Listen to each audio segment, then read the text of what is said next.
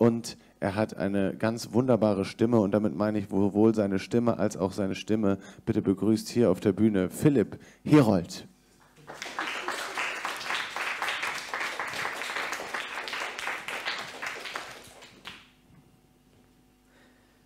Vielen Dank für diese wundervolle Anmoderation. Ich freue mich sehr, ähm, hier zu sein. Und äh, für mich war klar, dass ich einen äh, grünen Text schreiben möchte. Ähm, deswegen habe ich mich dem Thema äh, Nachhaltigkeit angenommen. Und ja, der Text ist sowohl inspiriert von diesem viel zitierten Carbon Majors Report von 2017, wonach seit 1988 circa 100 Unternehmen verantwortlich sind für über 70 Prozent der weltweiten CO2-Emissionen und von einem Zitat meiner sehr, sehr geschätzten Kollegin Fatima Mumuni, die da geschrieben hat, die Welt kann sich unseren Konsum nicht leisten, sie wird nicht satt davon und schon gar nicht glücklich.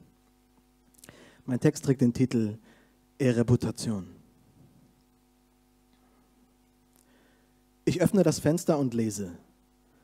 Mindestens 55 Prozent weniger Bedenken in Bellevue. In all diesen Momenten braucht es unser klares Nein über 366 Seiten, vierfache Auslastung. Wir müssen so schnell wie möglich handeln. Patienten in Not, Zeitmangel, der Familienstreit eskaliert. Jetzt sind die anderen gefragt. Ich schließe das Fenster wieder und denke, sag mir Europa, wo willst du hin?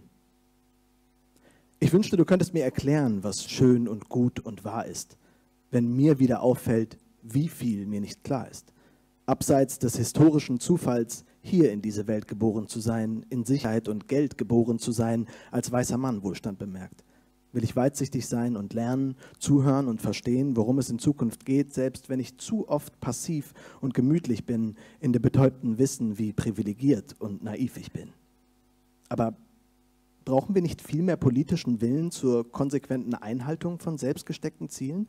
Sollte nicht jetzt schon sofort so viel mehr passieren, um Erderwärmung und Emissionen zu reduzieren, müssten wir nicht alle Maßnahmen intensivieren, um Energie- und Industriesysteme zu transformieren?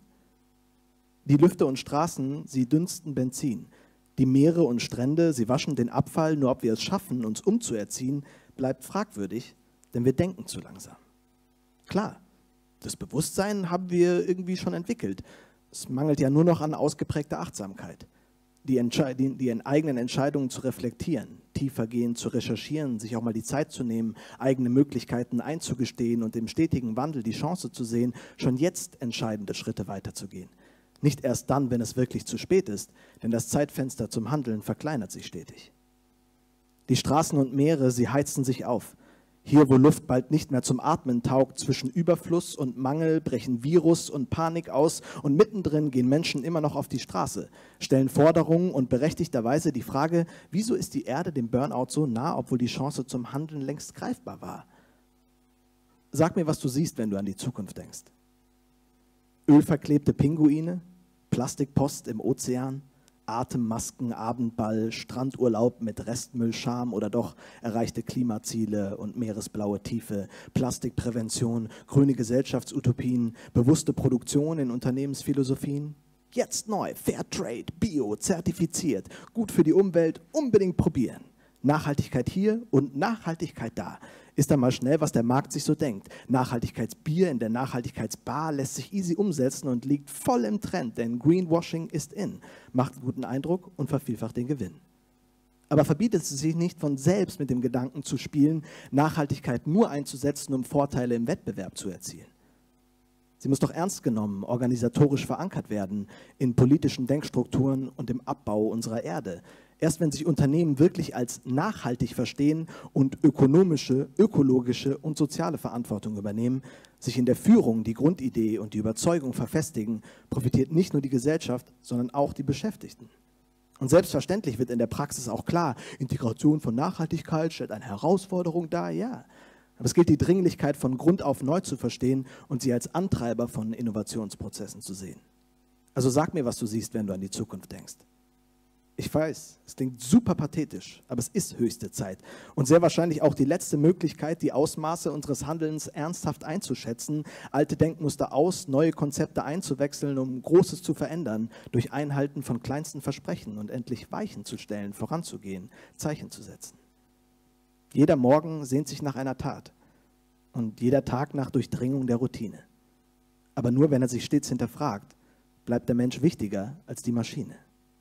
Also erklär mir Europa, wo führt das hin? Zum Neuaufbau im Wartestand? Hinauszögern der Laufzeit? Ereb wird's im Abendland. Und überhört der Aufschrei. Öffne ich wieder die Fenster, vernehme ich Streitigkeiten um Einzelheiten. Wer soll welchen Beitrag leisten? Wie viel Zeit bleibt einzuschreiten? Nur wird beim Blick in die Zukunft leider die Weitsicht unterschätzt. Denn die Zukunft beginnt nicht erst 2035, sondern jetzt. Vielen Dank fürs Zuhören.